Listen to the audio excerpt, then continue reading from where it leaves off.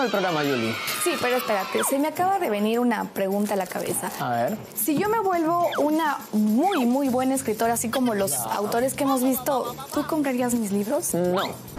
No los compraría porque obviamente me los tienes que regalar, pues. ¿Cómo yo voy a comprar tu libro? Bueno, tienes y encima le razón. tienes que poner tu autor. Ah, obviamente, con cariño para Jordana. Ya, claro. Pero ahorita cuéntanos un poco sobre el tema de RB. Ah, ya, pero te lo cuento por acá. Ya. A ver, ¿recuerdas que en el programa pasado hablamos sobre los dos primeros criterios de revisión del texto? Sí. Ya, pues te cuento que no logramos terminar. Y no me digas que hoy día vamos a hablar como 60 criterios más. No, la verdad es que solo falta uno. Así que si ustedes en su casa quieren saber cuál es, no se pierdan el siguiente video. ¿Solo uno? Sí. Vamos a ver.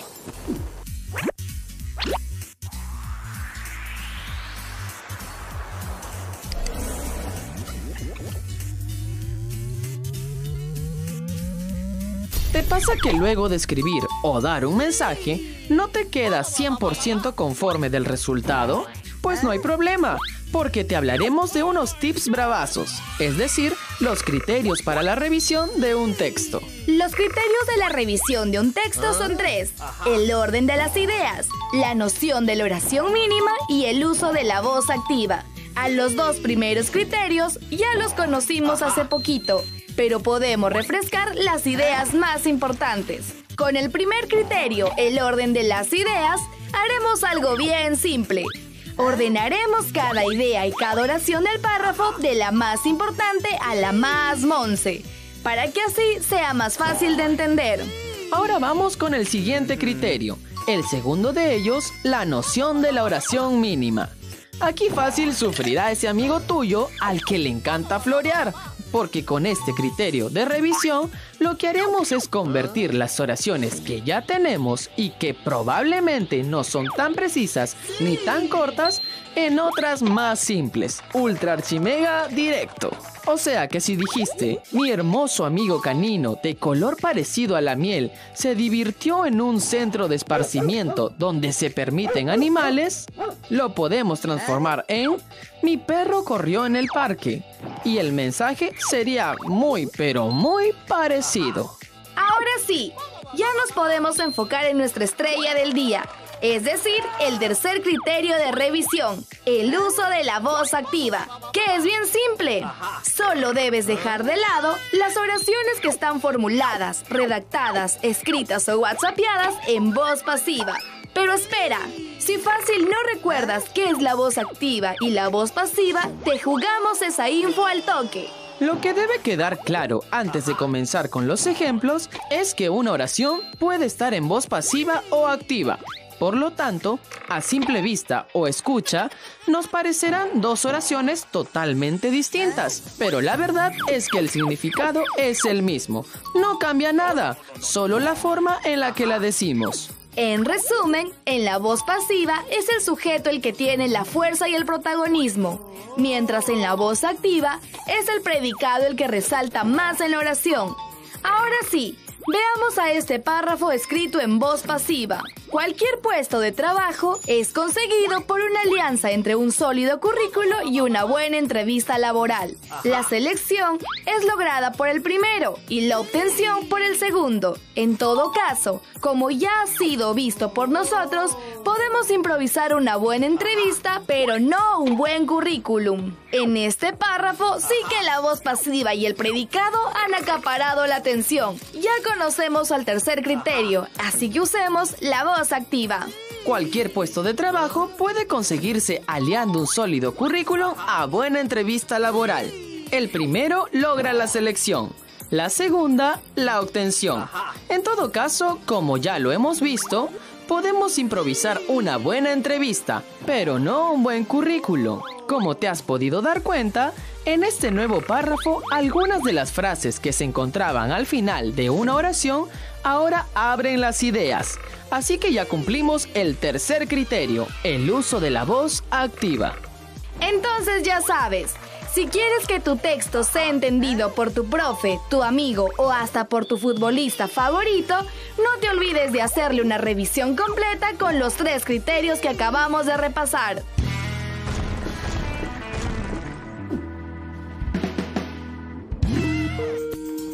Estoy de regreso, pero la pregunta que les traigo no es del curso de lenguaje, ni mucho menos de literatura.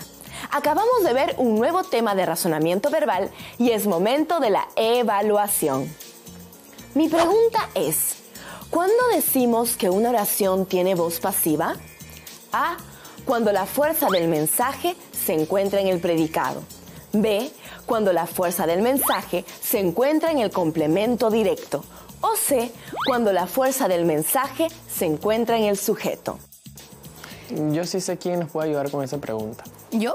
No. Yo no. No, pero ya después te cuento. A ver. Eh, pero estoy seguro que puede ser la alternativa C. La sé, pero tú me explicaste Es que no ese estoy tema seguro. hace rato y me dijiste que, pod- o sea, según tu explicación, yo creo que es la A. ¿Segura? Sí.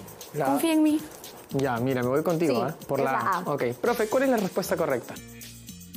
La alternativa correcta es la opción A, porque toda oración en voz pasiva recibe ese nombre debido a que el predicado toma protagonismo, a diferencia de la voz activa, en la que el sujeto posee mayor fuerza.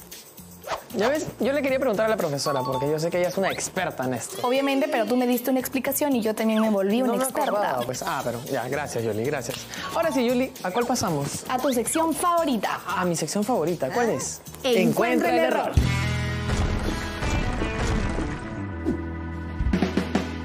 Ahora sí comenzamos con nuestra secuencia favorita. Yuli, préstanos atención, pues. Ah, ya, sí, justo porque estamos en esta sección. Ya. Es que te cuento que estoy viendo un montón de horrores ortográficos en Facebook. Mira, A ver. son un montón. Ya, mira. pero ¿quieres hablar de uno de estos, cierto? Ya, ¿qué te parece si corregimos este? No, este está peor, mira. Lee acá. Ah, cierto. Así que lo vamos a mandar a la pantalla. Para que vean cuál es el error. Vamos a ver.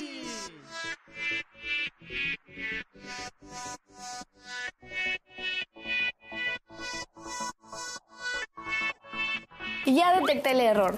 Lo que pasa es que cuando nos referimos a posibilidades, utilizamos la palabra posible. Exacto. En cambio, cuando empleamos la palabra probable, es cuando hacemos referencia a un mensaje que se puede comprobar. Totalmente de acuerdo contigo, Yuli. Entonces, quedó clarísimo. Ahora vamos a hacer un repaso de los tres cursos que hemos visto hoy día, que es razonamiento verbal, literatura y lenguaje. Vamos a ver. Vamos.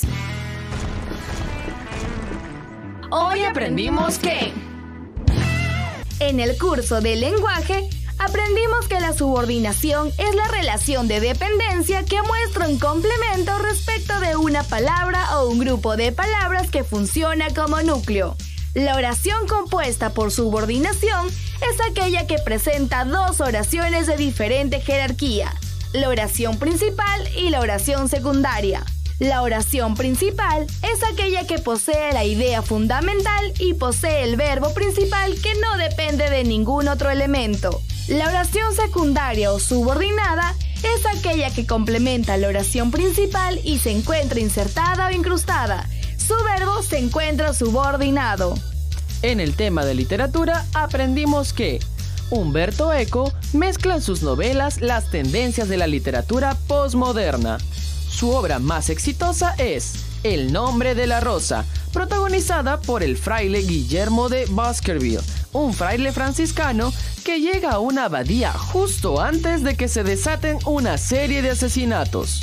En el video de razonamiento verbal aprendimos que el uso de la voz activa dentro del párrafo es el tercer criterio de su revisión. El texto debe de usar con preferencia la voz activa sobre la voz pasiva, ya que de esa manera la comprensión del texto es más directa. Cuando la fuerza del mensaje está en el predicado, decimos que se está usando la voz pasiva.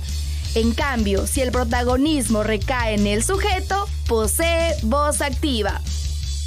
Y ahora sí, Yuli, hemos llegado a la parte final del programa. Estoy súper contento porque hemos tenido un programa que nos va a ayudar muchísimo y sobre todo le hemos pasado genial, ¿sí o no? Así es, tres nuevos temas en los cursos que ya conocen, lenguaje, literatura y razonamiento verbal. Y además, chicos, no se olviden nuestras redes sociales. Que yo se las voy a decir, claro, nos tienen que seguir en Facebook como Tiempo para Aprender del curso de comunicación quinto de secundaria. También tenemos Instagram, ¿qué más? Twitter. Twitter y también todos los videos lo pueden ver en nuestro canal de YouTube, ya lo saben. Y no te olvides de enviarle Jordán un saludo muy especial para toda esa gente que nos acompaña programa a programa. Y bueno, chicos, con nosotros será hasta, la próxima. Chao, chao.